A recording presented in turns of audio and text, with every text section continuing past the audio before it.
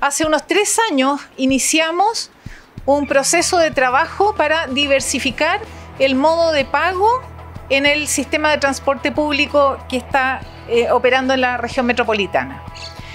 Desde hoy parte un periodo de marcha blanca que tiene tres componentes nuevos, pero se incorpora una facilidad muy importante que ya no depende de la tarjeta BIP y es gracias a un convenio con Banco Estado que permite generar desde la cuenta RUT un código QR y pagar directamente en el bus, en el tren o en el metro. Esto lo que hace es que descuenta directo de la cuenta RUT.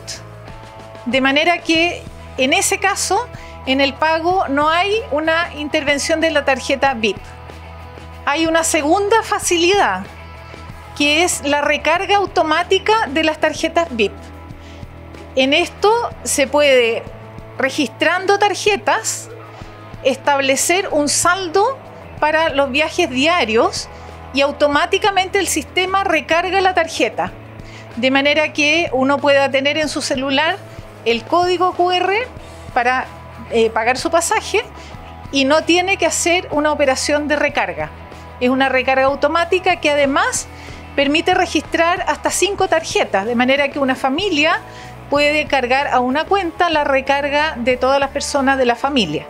Y la tercera es crear una cuenta VIP QR, es decir, es automatizar la tarjeta VIP y transformarla en una tarjeta que permite pago con código QR y también permite la recarga que acabo de indicar.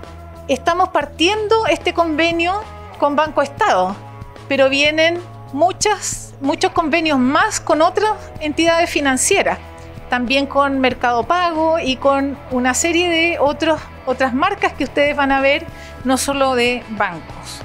Eh, por ahora, la aplicación de pago a través de la cuenta RUT está disponible solo para la tarifa adulto, perdón, la tarifa adulto normal del sistema.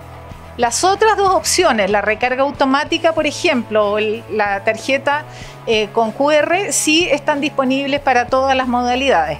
Solamente es en esta etapa y se agrega a la siguiente etapa esas otras tarifas. Eh, para eh, tarifa adulto, el convenio con Banco Estado.